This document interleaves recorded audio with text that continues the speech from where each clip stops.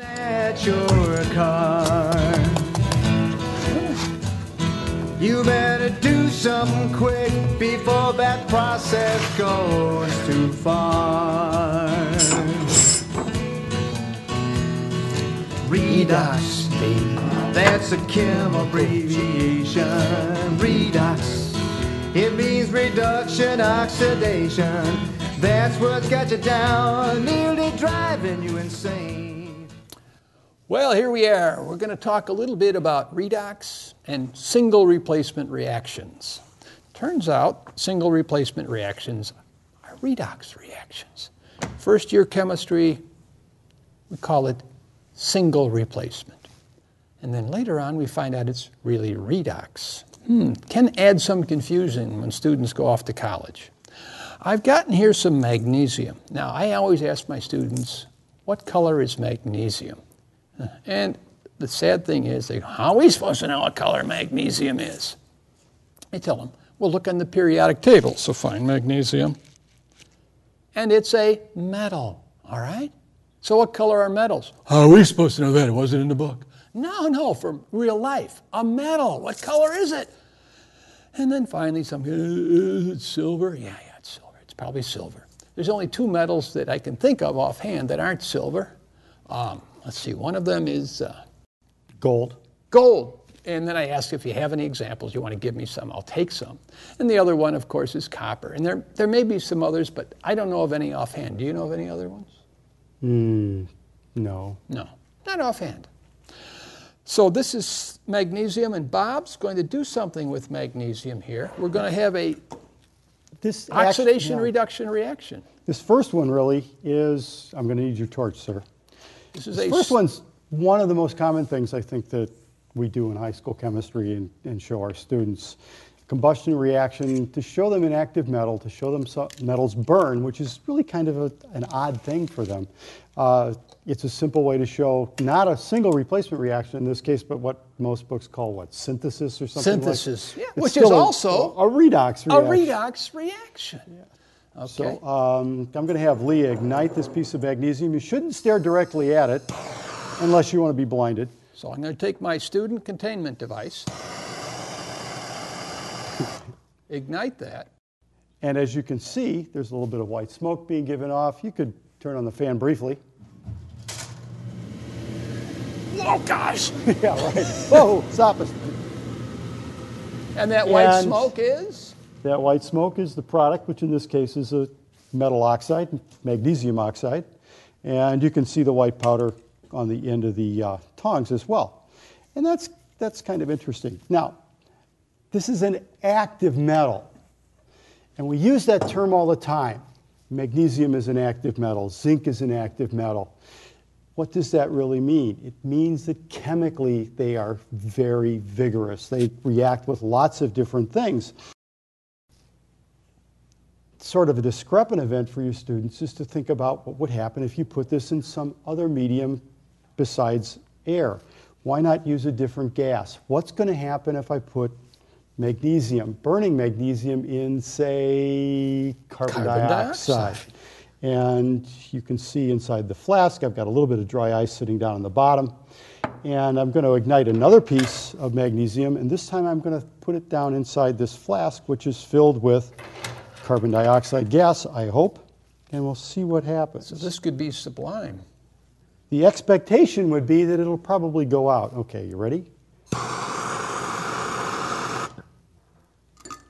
Instead, did you hear that? Did you catch that little pop, pop, pop, pop, pop, pop right at the end? It didn't actually go out. And in fact, look at, the, look at this now. Is it all white? No, Bob, I see a little bit of black there, right there on the There's end. a little bit of black on that. In fact, and if you really looked closely when we did this, flip the fan on for just a second. Again, you can see that white powder. You can see it being pulled out of the top. White powder, of course, is mang- magnesium oxide again. The black stuff that was generated is the other part of the equation, which is carbon. Magnesium is so active that when you stick it into carbon dioxide, it will react with the carbon dioxide and take away the oxygen from the CO2. Pull it out, make magnesium oxide, and leave the carbon behind. And that, that's really pretty, pretty interesting, and it makes you wonder about carbon dioxide fire extinguishers and how valuable they would be. In, in this case, yeah.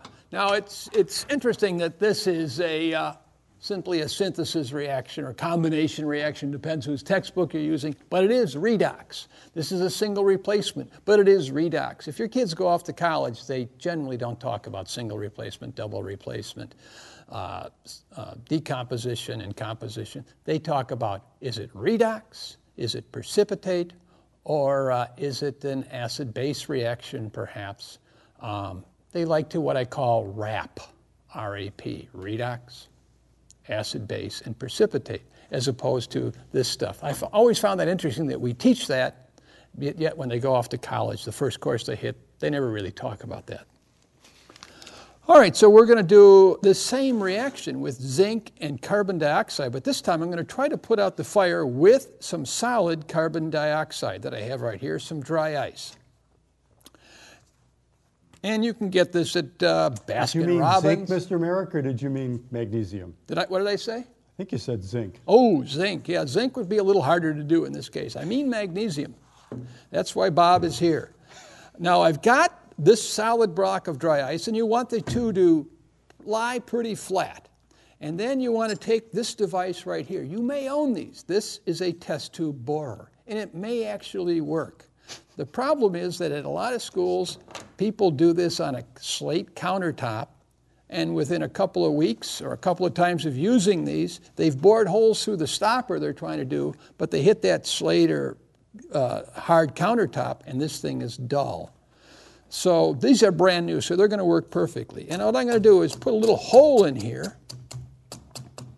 And you don't need a test tube borer. You can use a screwdriver. Just a test tube borer works well. Okay? Now let me put this away. And let me get out some magnesium turnings, which I would use. I would not use magnesium ribbon. Now, I'm going to put some in there. Don't go crazy with this because it could be splattering all over you. Hot, burning magnesium at a thousand or more degrees. So that's probably a good amount. Now, we do want a safety shield in front of your students. So, Bob, there's again, there's how many of us? Two. Well, two, I think, yeah. Let's put it on the other side. Counting me. Yeah, let's put it on the other side. That's What right. the heck? All right. So here we go. Now we Always protect your teacher. that's correct. Eh, maybe not. So we're going to put this on here.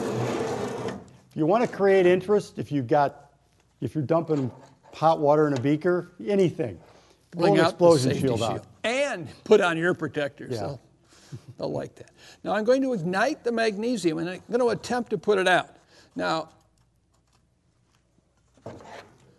here we go. And we can get the lights down a bit. That would be cool.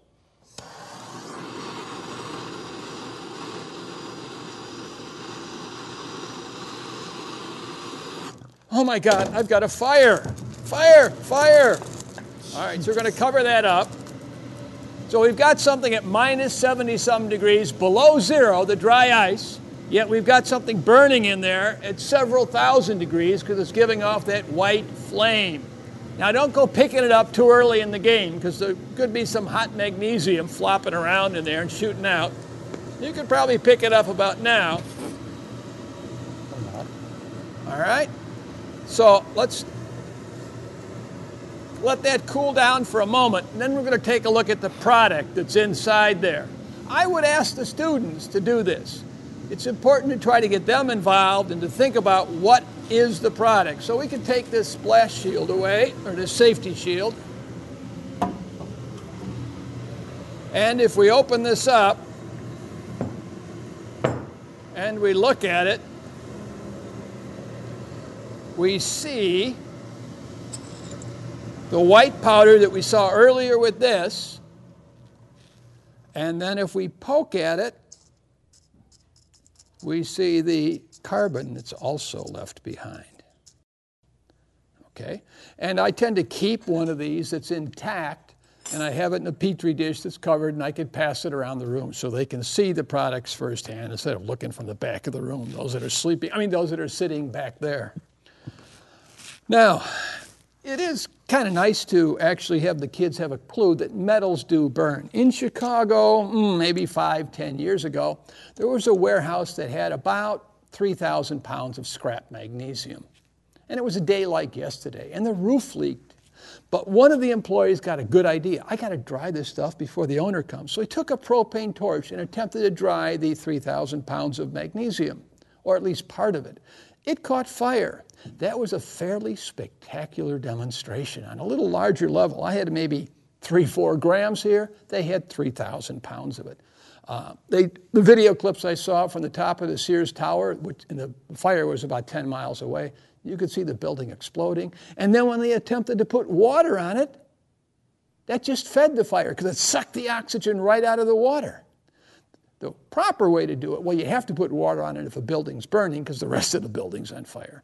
But the proper way, apparently, if there's a large magnesium fire, is to put not sand, because it'll even suck the oxygen out of sand, right, Bob? It will indeed. The proper way is to use something like sodium chloride. Well, you know, you're not going to put dump tons of sodium chloride onto some burning building, so the firemen were forced to use water.